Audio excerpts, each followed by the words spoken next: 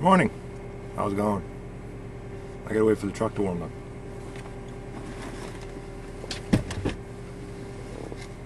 This is sort of a video for Emil, so if you can see me. Today we got a Savinelli on the go. It will be in a minute. And some mild English by Boswell's. And this is really good stuff too. Uh, beer blend, uh, um, I'm saying, is a, a very close second to uh, Northwoods. I, I really enjoy it, and this stuff here is third.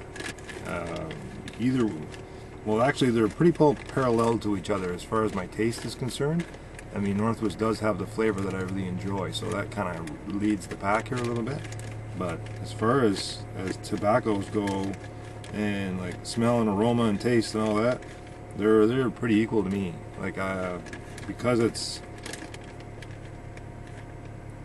none none, none of them are harsh. Uh, they're sort of a robust tobacco, but they're not overly robust. You know what I mean? Like there isn't too much there that's going to dissuade you from the taste and all that, and and the smell. I mean, it's just great. It's uh, they're, they're great.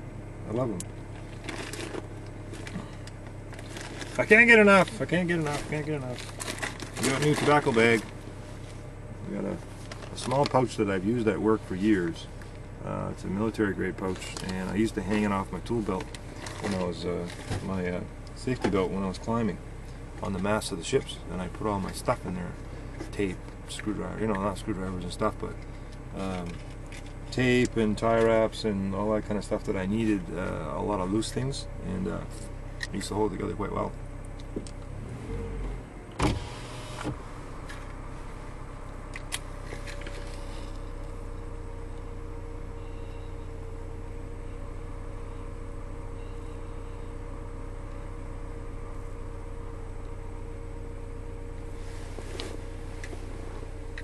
Oh, there we go. That's my video for this morning. And then we have uh, homebrewed coffee, hazelnut cream. So, with that, I hope your day is a blast. I started Hapkido again last evening, so one of these days I'm going to get some video of that.